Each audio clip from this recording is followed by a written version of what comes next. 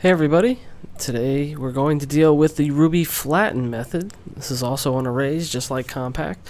It's pretty cool. It allows you to take a multi-dimensional array and turn it into a single dimensional array.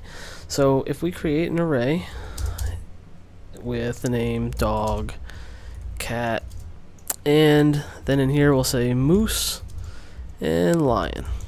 So now we've got our multi-dimensional array and it would be nice to turn that into a single dimensional one, right? So we say flatten, and the results we get back are dog, cat, moose, lion. Perfect. Now, if you look at array, this is this is the case with Ruby in general. So if you'll notice that the array itself has not changed. And so the way we get arrays to change was we typically just add a bang.